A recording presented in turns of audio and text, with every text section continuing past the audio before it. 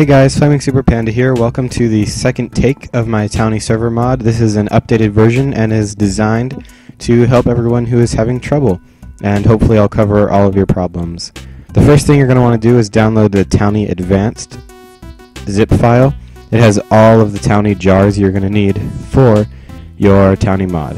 So once you have that downloaded, you're going to want to drag them into your server plugins folder just questioner, towny, and towny.jar. You need towny register if you use any type of economy plugin other than the iconomy, which is very compatible with towny. Another note, I will not be going over how to install an economy mod that corresponds with towny. If you want to see some of that, um, let me know and I'll try to do that in the future. But for now, this is just about Towny, not the economy system. So once you drag these th three files into your plugins folder, you're going to want to close both of these and run your server. So you just click start. I already have it installed, so it'll show up here. And you'll see something like this. It'll say Towny it'll say mod enabled and then Towny chat enabled. There might be a few more lines of code or text if you have not had it installed yet, but once it's installed, that's all you have to do. Then you stop your server, and once it stops, then you move on to part two. Alright, so for step two, you're going to want to go into your Towny server folder, go into the plugins folder, Towny, data, and worlds. So here are all here will be a list of all your world files that you have in your server folder. Um, if you only have one, then you only have one, and that's all you need to worry about. So you're going to open this text document, and I'll resize this a little bit. So, what we have here is a list of commands and um, shortcuts that will tell the program what to do. These are the things that are not coded into the configuration file, but you have to change here. So, first thing we have here is PvP, which is on, and force PvP is false. You can leave that the same. Um, plots are claimable, that's true. Uh, mobs true. Force town mobs is false. Fire spread is true. Force fire spread is false. Explosions true. True. You can keep all of these true. Alright, so here is where lots of people have trouble, where they can't build anywhere because it's not a claimed plot. That's because right here, unclaimed zone build is set to false. You want to put that at true and also destroy, you want to set that to true. Item use as well, and switch as well. Alright, you can name your unclaimed zone whatever you want. I'm just going to stick with wilderness for now. The other settings here, um, they have to do with regeneration, plot regeneration. So if a claimed plot is not in use for a while, it will begin to revert to the snapshot of what it was before it was claimed. So if you don't want that to happen, you can set it to false, or you can leave it on true to make things interesting. It's right here. Plot management revert is set to true. I'm going to leave it at true because I like that. Um, in that, if you have a large server, a large public server where you're using this mod, and people decide they no longer want to play, their town will be reverted back to its normal state, original wilderness state.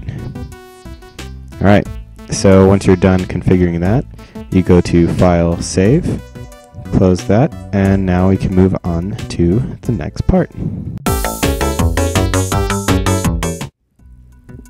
Next up is easily the most confusing and most daunting part of setting up a town, the Towny mod. It is configuring the conf config.yml file. Now this can this gets complicated if you're using external plugins such as an economy mod and a permissions mod. For the purposes of this, I am not using either of them, but in the future, if you would like to know further on how to do the permission nodes or anything that goes along with economy or permissions plugins, let me know in the comments and I will work on that as soon as possible. So, oops, what you're going to want to do is go to plugins, Towny yet again. This time you're going to go to settings and open the config.yml file. Now I'm going to make this full screen. And there are only a few things that you really, really need to change in here. You can go through it and set it to exactly how you would like it. Everything is pretty straightforward, but the most important things are changing um, the things that you changed in your world text file.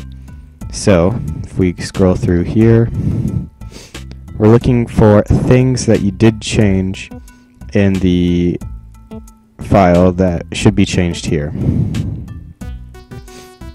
So here we see PvP is true, force PvP is PvP is false, which is what we used in the uh, original config file. So most of this we can keep for now. Here is where we get to change stuff in the plugin interfacing section. So, as we look through here, using essentials is set to false. We're not using essentials. Using economy, we also need to set to false because for the purposes of this, we are not using economy. Keep looking through. Using permissions, um, we're not using a permissions plugin either, so we can set this to false as well. Keep searching through. These are all specified chat settings. I know there is one other thing that we're going to need to set, which is wilderness settings. We changed all of this to true because we want people to be able to do things in unclaimed plots. We don't want them to not be able to do anything. So, we also have to set these to true, just as we did in the world text file. Now, that is all you really have to change. You can also set the default town plot size. I'm not going to do that here, but um, the default size is 16, which can be expanded upon in-game, I believe. You can also change it later on if you decide that that isn't big enough for your purposes. So, that's about it for the config.yml. I know it looks like a lot, but truly it isn't. So, don't let it scare you. Alright, now with that done, we can move on to the next part. Alright, so the next step is configuring the chat file. So we're going to go again into plugins, Towny, and settings. This time we're going to click on the channels. The next one will be the chat configuration, but the channels are different places for your users to chat in. So depending on which channels you have set here, um, they, the, your users can change chat rooms and only see the people that are in that chat room talking. So these are just the default ones, which I'm going to go ahead and leave, but I'll go through what everything means here. So first you have the command. So enable, in order for your users to get into each of these channels, um, they need to type a special tag. For the general chat, it's slash G, then their message. They don't need to keep hitting slash G because that'll just keep taking them in and out and in and out. Alright, so the channel tag will have a color, and here it is, number sign, I mean, and F, which is white. These are all the default colors that you see here. Um, you can use these in-game to change the color of your text, if anyone has ever wondered how to do that. Alright. So to enable to do this, you need to be an admin level. Um, you can configure this further if you have a permissions plugin. Um, for now, only if you are an OP can you use um, the chat rooms, which I will not be covering the permission plugins yet again. But if you would like to know how to do that, um, leave me a comment and I'll do that in the future. So the next thing is town, which is slash TC. Um, its color is blue, I believe. Number sign. I mean, and oh, I'm terrible. Yeah, light blue. Okay. Um, nation chat is slash NC. Its color is yellow.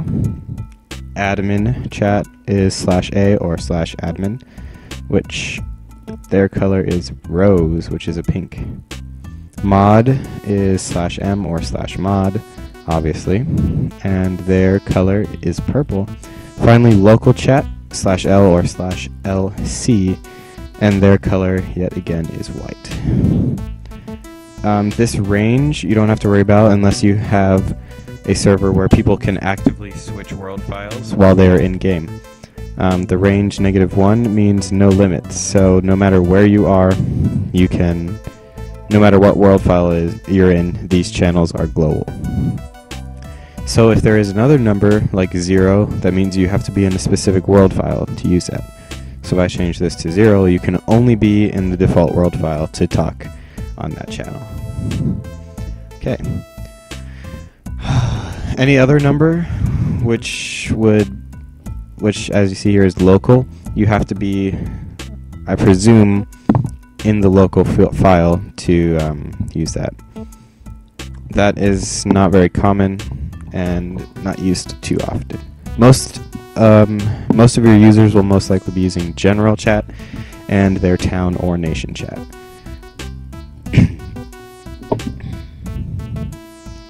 so again, these channels are easy to configure and all they really do is change chat rooms for your users. Um, coming up, we have the configuration for the chat itself, so stick around.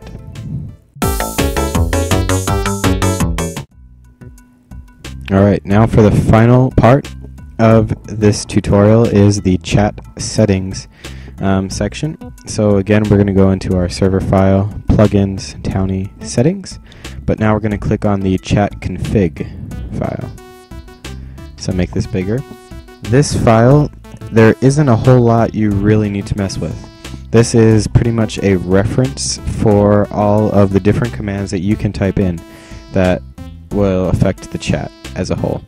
So we have, I'll go through these, um, name out some important ones.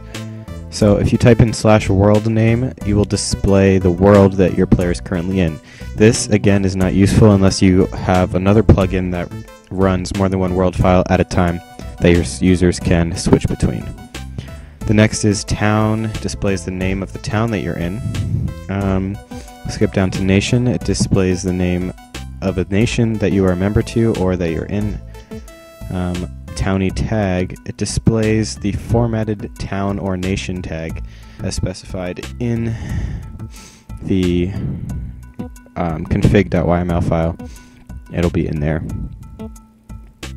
Title, it'll be the name of whichever player, that, I mean, it'll tell you the title of whichever player you type in. If you type in slash surname and then the player's name, it will tell you the surname of that player.